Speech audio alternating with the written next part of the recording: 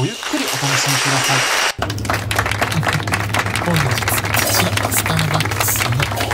2022年最後の新商品となるであろう商品ちゃった今回は抹茶フラペチー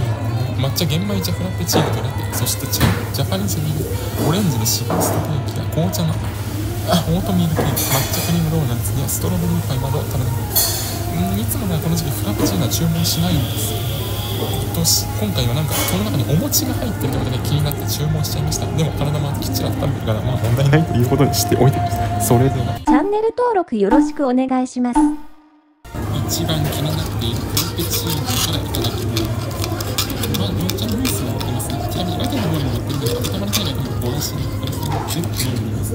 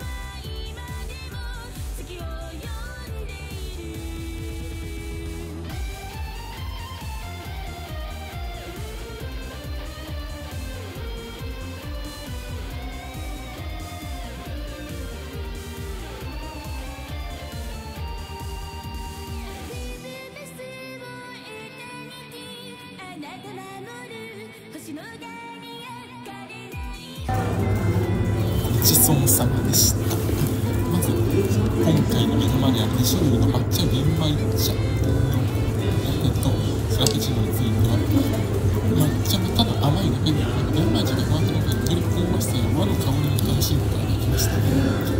ラペチーノの方がお餅が入っていてしかもそこからも玄米の香りがより香ばしさを感じましたですが温まりたいラテでも十分に味わえますのでこの辺りがもう基本とそうです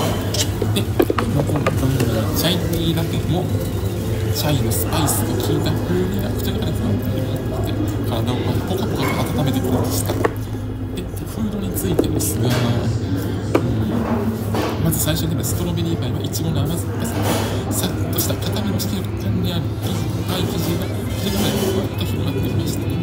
続いて続いての抹茶クリームドーナツを含めましたイーストドーナツ生地にこれまた濃